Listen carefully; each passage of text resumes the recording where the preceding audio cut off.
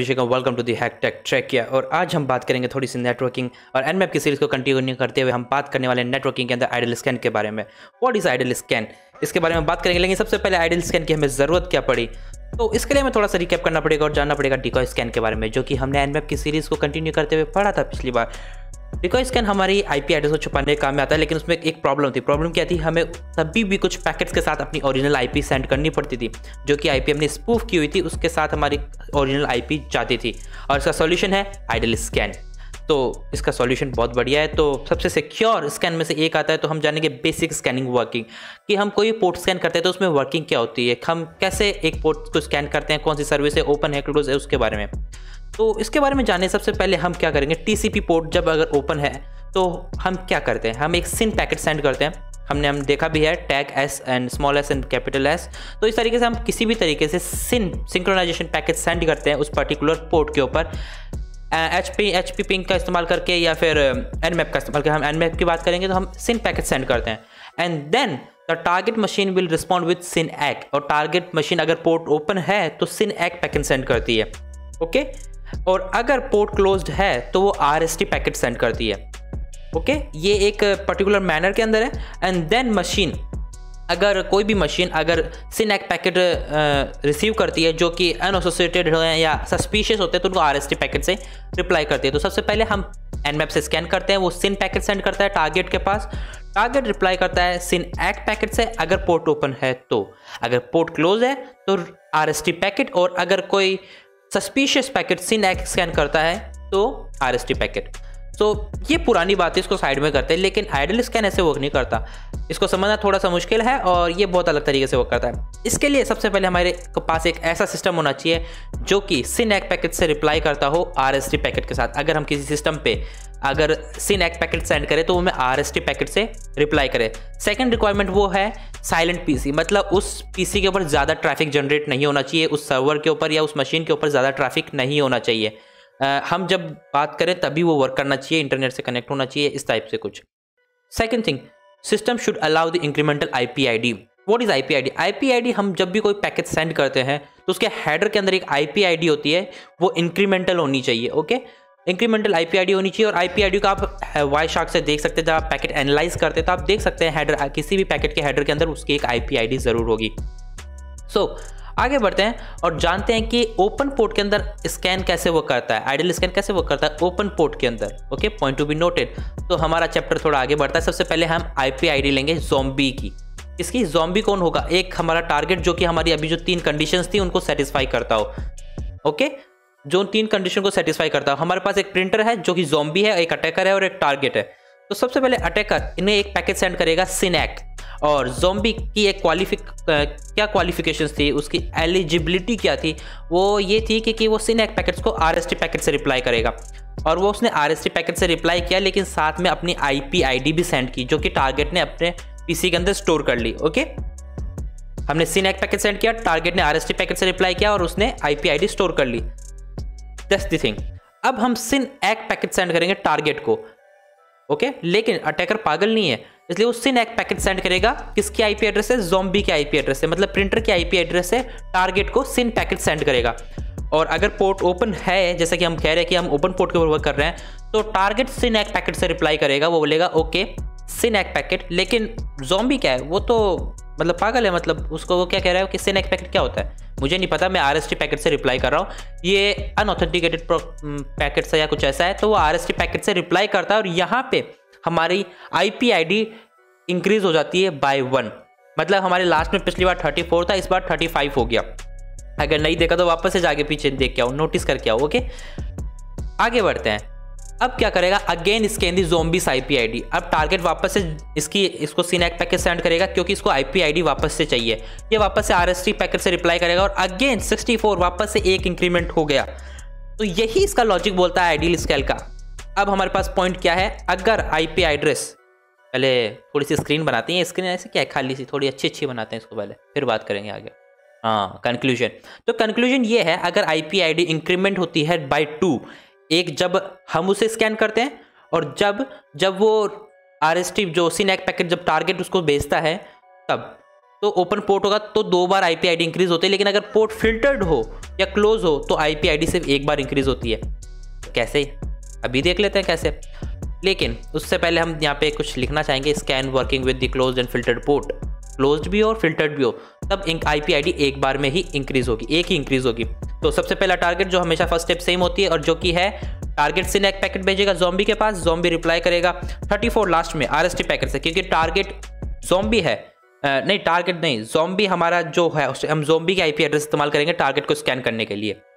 Okay तो इसने जब आईपी एड्रेस अपन को सेंड की तो हमारे पास लास्ट में 34 था क्योंकि ये आर पैकेट भेजेगा बिकॉज़ जोम्बी की क्वालिफिकेशन ये कहती है कि वो सिन एक पैकेट को रिप्लाई करेगा आर पैकेट से। दैट्स फाइन अब आगे बढ़ते हैं। अब हम यहाँ पे सेंड करेंगे SYN packet to the zombie zombie को पैकेट सेंड करेंगे और नहीं जोम्बी के आईपी एड्रेस से टारगेट को आईपी पैकेट सेंड करेंगे। सिन पैकेट सेंड करेंगे जोम्बी की आईपी एड्रेस से टारगेट को ओके लेकिन टारगेट रिप्लाई तो करेगा, लेकिन किससे करेगा आपको लगता है? पोर्ट क्लोज है पॉइंट टू बी नोटिस या तो फ़िल्टर है या क्लोज है तो वो रिप्लाई करेगा आर एस टी पैकेज से ओके एंड देन हम आगे बढ़ते आर एस टी पैकेज से जब रिप्लाई किया तो I P I P I D increase ही नहीं हुई उसकी। Point to be noted R S T package से जब उसने रिप्लाई किया तो जोम्बी बोलता है, मेरे को आर एस टी पैकेज से क्या है? मैं नोटिस ही नहीं करता, मैं तो वर्क करता हूँ सीन एक पैकेज के ऊपर। आर एस टी पैकेट कुछ नहीं नथिंग तो हमने वापस से जोम्बी को स्कैन किया और जोम्बी ने फिर से रिप्लाई किया और इस बार आई पी आई डी सिर्फ़ एक बार इंक्रीमेंट हुई। क्योंकि वो इस बार, हमने जब वापस से स्कैन किया, तब एक बार ही इंक्रीमेंट हुई, यहाँ पे 35 हो गया। जब टारगेट ने जब इसको जोम्बी को रिप्लाई किया क्योंकि हम जोम्बी के आईपी एड्रेस से सेंड कर रहे थे तब ऐसा नहीं हुआ। ओके तो मैं एक बार वापस से आपको इस चीज़ को एक्सप्लेन करना चाहूँगा। ओके हाँ पीछे आते हैं। क्योंकि दैट्स द इंपॉर्टेंट थिंग हमने सिन एक पैकेट सेंड किया जोम्बी को।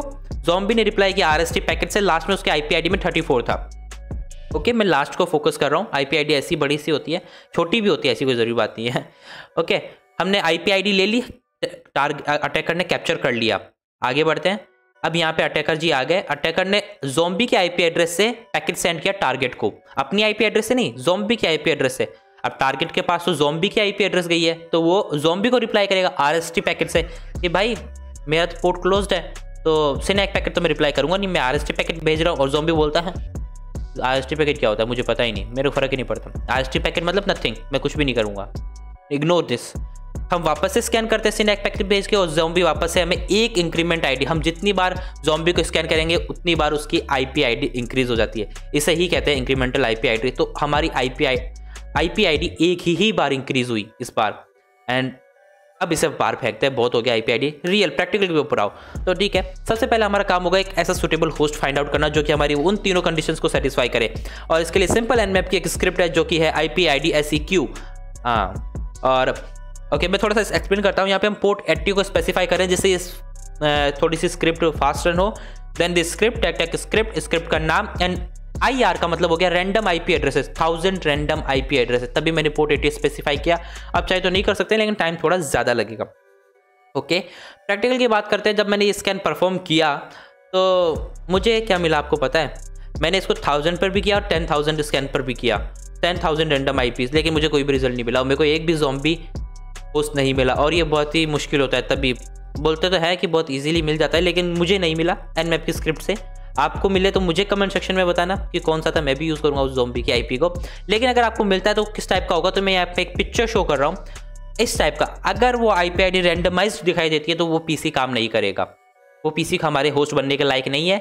लेकिन अगर इंक्रीमेंटल आईपी एड्रेस यहाँ पे नीचे जब दिख रहा है इसका मतलब पीसी हमारे लायक है। तो इस तरीके जब आप इस स्कैन को परफॉर्म करोगे तो इस टाइप का आउटपुट आना चाहिए। मेरे वाले में नहीं आया, आप भी चेक करना। अब ये तो बकवास तरीका हो गया बिल्कुल। मतलब मिला ही नहीं तो क्या करूँ मैं? अब मेरे को मिलना तो चाहिए, लेकिन इससे पहले आगे बढ़ने से पहले हम इसके कुछ डिसएडवांटेज की बात कर लेते हैं।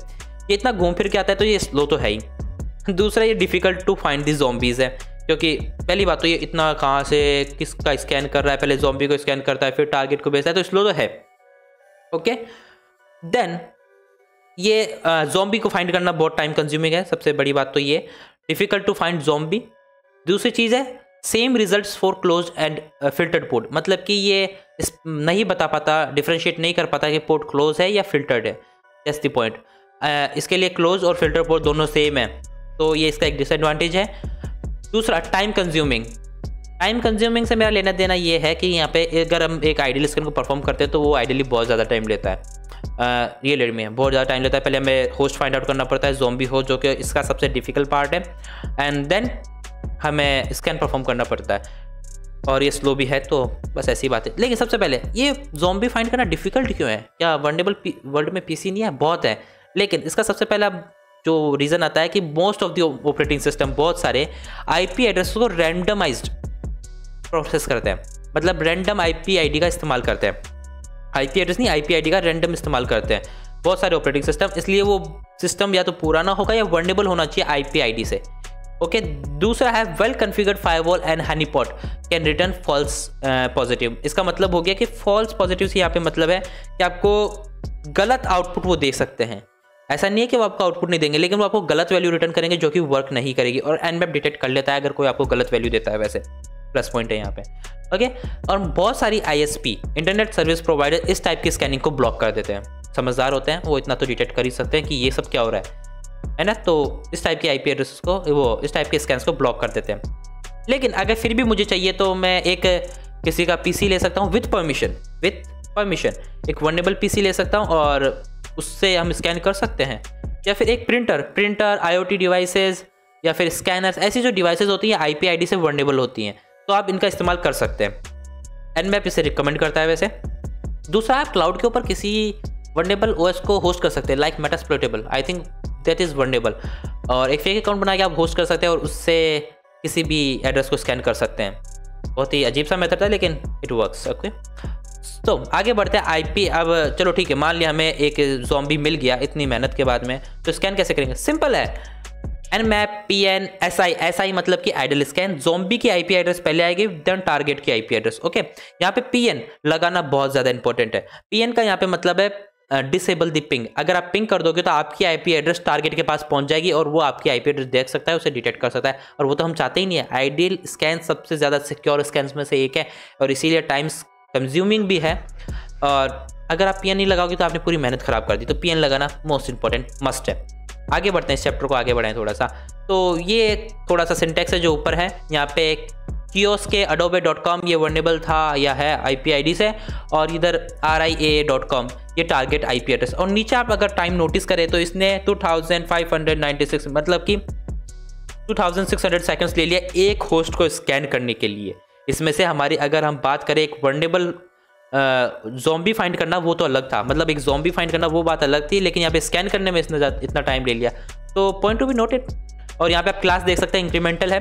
तो क्लास इंक्रीमेंटल होनी चाहिए जोम्बी फाइंड करके आप स्कैन कर सकते हैं। लेकिन ये one of the most secure इसका सबसे बड़ा एडवांटेज ये ये कि सबसे ज़्यादा सिक्योर स्कैन में से एक है।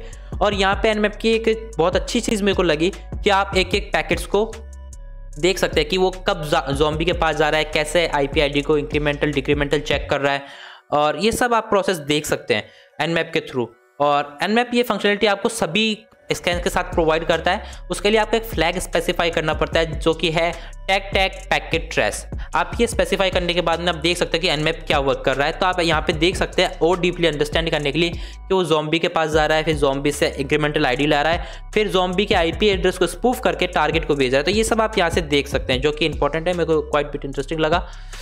सो so, तो टुडेज हमारे जो टॉपिक्स थे, वो कुछ ऐसे थे कि हमने आइडल स्कैन की वर्किंग सीखी। SYN packets ID ID IP ID कैसे वर्क करते हैं। हमने होस्ट को फाइंड सीखा आईपी मतलब क्या है? सॉम्बी होस्ट को फाइंड करना सीखा, जो कि लिटिल बिट ट्रिगर हार्ड था।